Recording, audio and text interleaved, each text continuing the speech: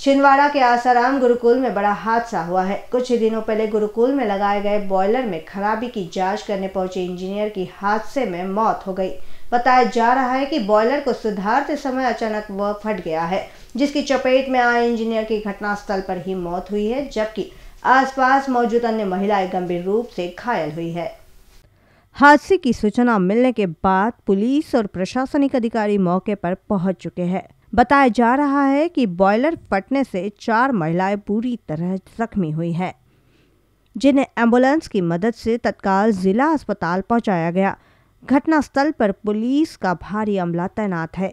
Boiler फटने से गुरुकुल का किचन पूरी तरह से तहस नहस हो चुका है।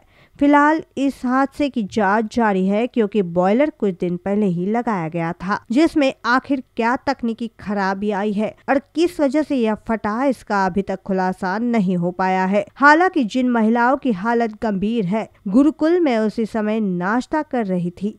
इनमें दो व्यक्ति एक दिन पहले ही हैदराबाद से बॉयलर फिट करने के लिए छिंदवाड़ा आए थे।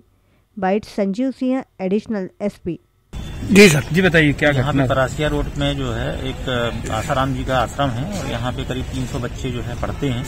यहाँ रसोई घर है रसोई घर में खाना बन रहा था तो सुबह जो है एक गैस सिलेंडर में विस्फोट हुआ है जिसमें एक व्यक्ति की मृत्यु हुई है जो भी तीन चार दिन पहले ही हैदराबाद से अहमदाबाद से आया हुआ था और चार महिलाएँ घायल हुई हैं। घायल महिलाओं में एक महिला की थोड़ी सी स्थिति खराब है चारों को जो है अस्पताल भिजवाया गया है और हम लोग सब मौके पे हैं। यहाँ पे पुलिस की टीम इन्वेस्टिगेशन कर रही है। डीडीएस टीम को भी बुलवाया हुआ है जो कि विस्फोट का कारण है और जो भी चीज़ें आएँगी इन्वेस्टिगेशन में उस आधार पर अभी प्रारंभिक जाँच में कुछ पता चल रहा है प्रारंभिक जाँच में तो यही पता चल रहा है कि जो है वहाँ पे जो पहले जो गैस चूल्हा है चूल्हा है उसमें खाना बनता था।